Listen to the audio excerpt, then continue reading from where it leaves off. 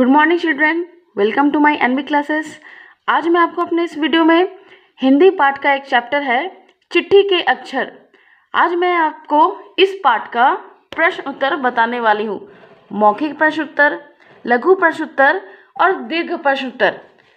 तो उससे पहले मैं आप सभी बच्चों से रिक्वेस्ट करना चाहती हूँ कि आप मेरे इस चैनल को सब्सक्राइब कर दें, ताकि उससे क्या होगा कि आपको मेरे हर वीडियो का नोटिफिकेशन भी मिल जाएगा और आप इस वीडियो के देखने के बाद लाइक भी करें और अपने फ्रेंड्स के साथ शेयर भी करें, ताकि उनको भी उनकी स्टडीज़ में हेल्प करे।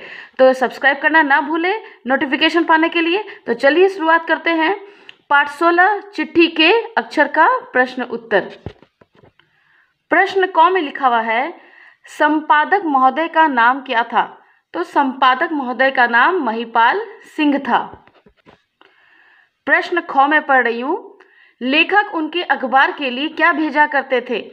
लेखक उनके अखबार के लिए कविता और कहानी भेजा करते थे। प्रश्न गौ, लेखक संपादक महोदय से कब मिले? लेखक को जब किसी शादी में जाना पड़ा, तब वे महिपाल सिंह से मिले। प्रश्न घ, लेखक क्या देखकर आश्चर्यचकित रह गए? उत्तर है, लेखक महिपाल सिंह का दायां हाथ कंधे तक कटा हुआ देखकर आश्चर्यचकित रह गए। प्रश्न अंगो, संपादक महोदय ने अपना दाहिना हाथ कैसे खोया? उत्तर इस प्रकार है, एक दिन जब संपादक महोदय शत्रु को अपनी गोलियों का निशाना बना रहे थे, तभी उनके पास में ही एक बम फटा और उनका दाहिना हाथ कंधे तक उड़ गया। प्रश्न चौ, संपादक महोदय की सुंदर लिखाई का श्रेय किसे जाता है? संपादक महोदय की सुंदर लिखाई का श्रेय उनके निरंतर प्रयास को जाता है। अब मैं आपको इस पाठ का उचित विकल्प पर सही का चिन्ह लगाइए, बताऊँगी।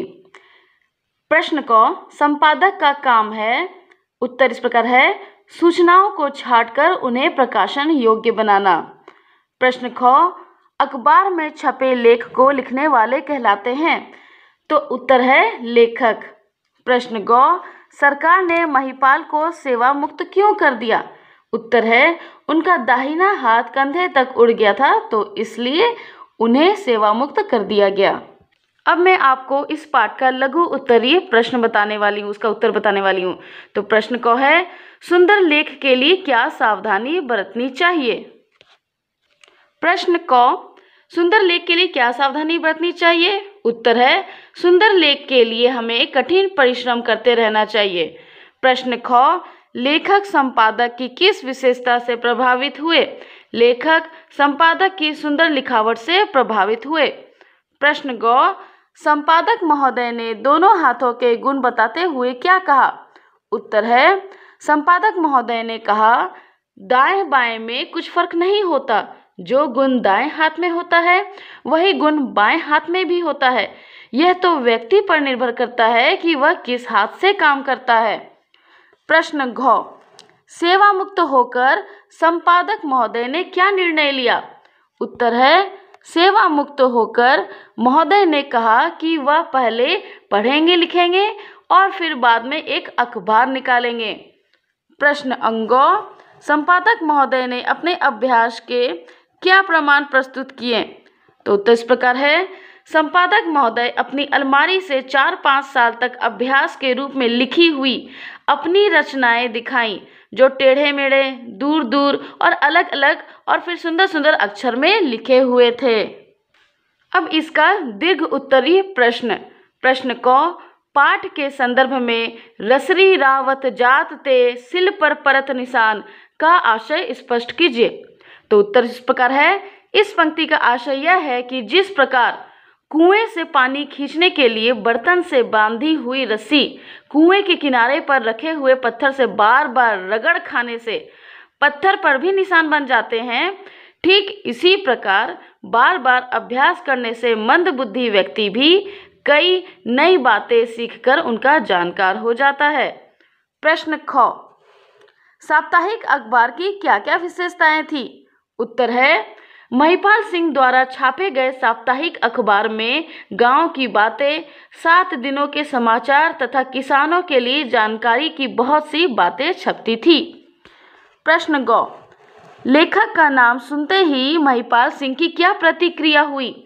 लेखक का नाम सुनते ही महिपाल सिंह एकाएक उछल पड़े और उन्होंने तेज़ी से आगे बढ़कर लेखक को हृदय से लगा लिया।